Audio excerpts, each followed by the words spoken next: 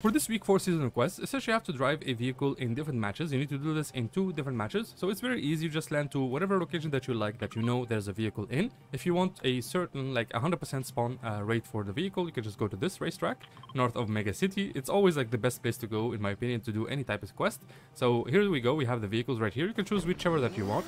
There's the rogue bike right there. There's the rogue car right here.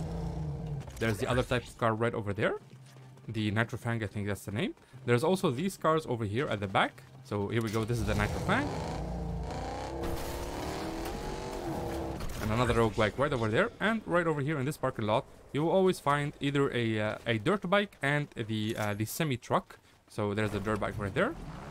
And the semi-truck, I think somebody already already took it. But yeah, like there's four types of uh, like vehicles right here. Doesn't matter which one you choose. Just choose one, exit the game, and uh, land here again, which is this location right here. Just drive twice, and that should complete the quest.